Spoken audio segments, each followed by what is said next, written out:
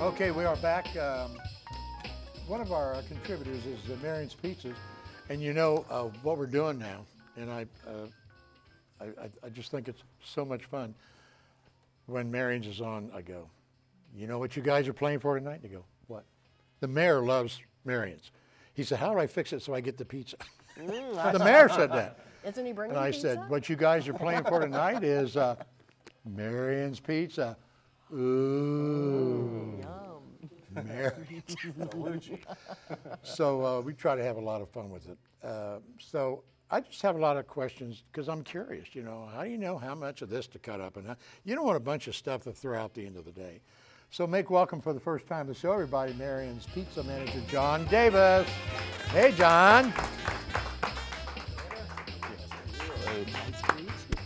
You know what a tuta is? What's that? Welcome to the show. Okay, thank you, thank you. That's a tuta. Nice to be here. How you doing? Good, how are you?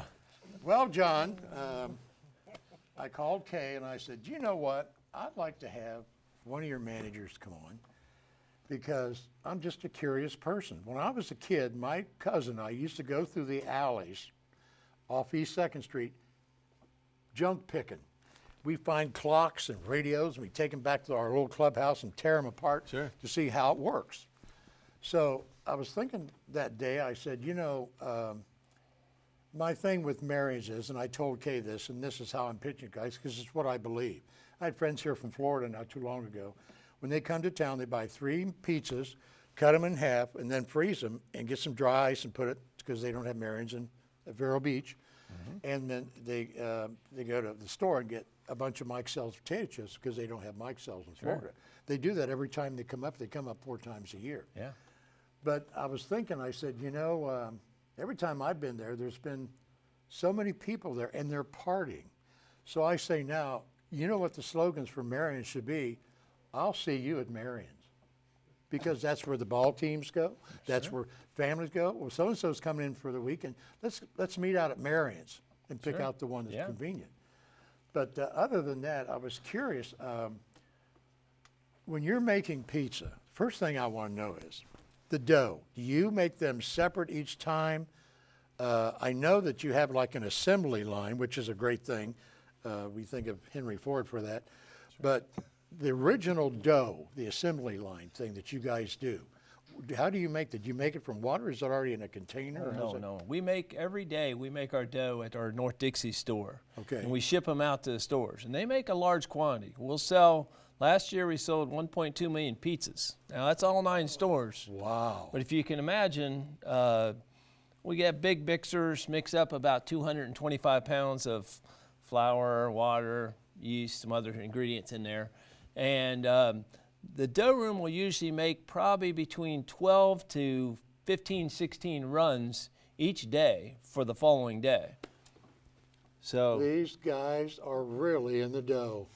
that's right. I'm sorry. I couldn't resist. couldn't resist.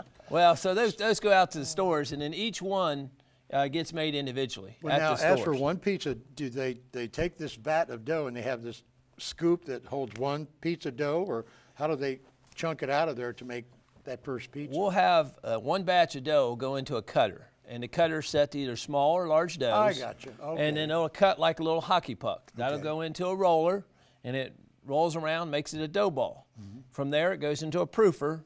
Once it proofs for about 20 minutes, it goes through some sheeters, like big rolling pins. It'll be a dough ball, and it'll be about uh, like a large dough ball, is around 10 ounces. Mm-hmm. It'll flatten out, uh, look like a football when it goes through the first set of sheeters. Second set of sheeters comes out exact size as pizza. There'll be a guy at the end of the desk. He'll pick it up, put it on a wax paper, slide it down to the next gentleman, Conveyor line. and it, yeah, and we'll have usually four or five people working in the dough room each day. We have six people total that work in there pretty full time, uh, 40 to 45 hours a week. And uh, from there, it gets shipped. We got a cooler, a warehouse freezer, gets shipped to each of the stores every day. And then, based on what we do each day, is what we'll use uh, based on past history. In other words, on a Friday, we're going to sell a lot more dough than we would on a Monday.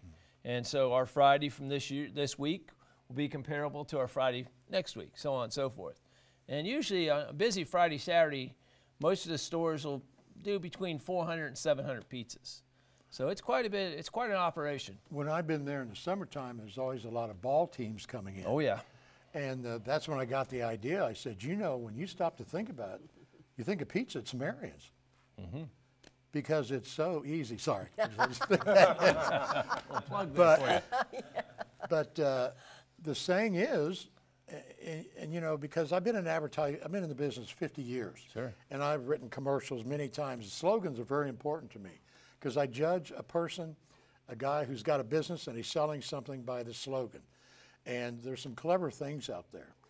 And I said, you know, when I think of Marion's, I say, come on, let's meet at Marion's.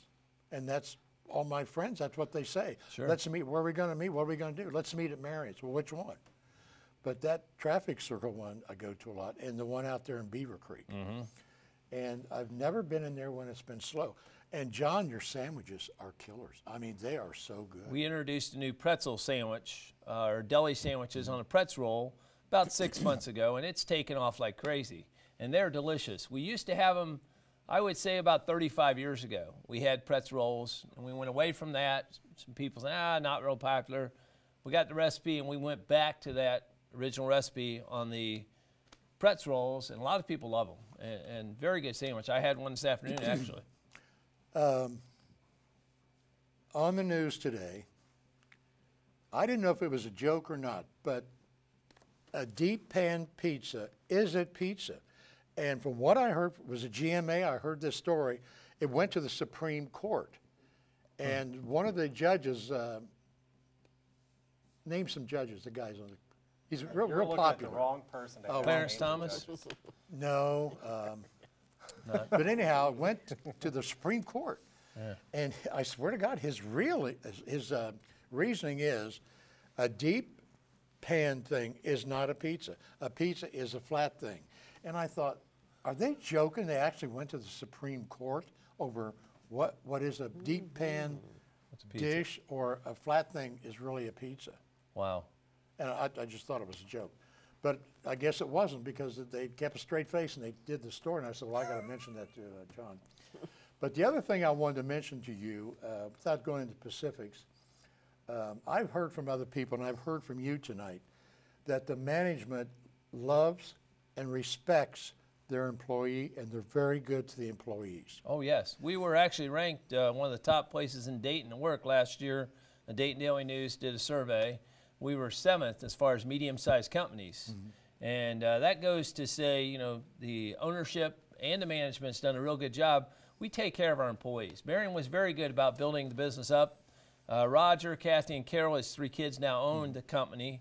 And they've been very good about taking care of our employees, paying our managers well, and take care of people that take care of them. And that's a good thing that you can look at your bosses because a lot of people can't say that. You know, do you like your boss? Does a bear crap in the woods? You kidding? Forget that.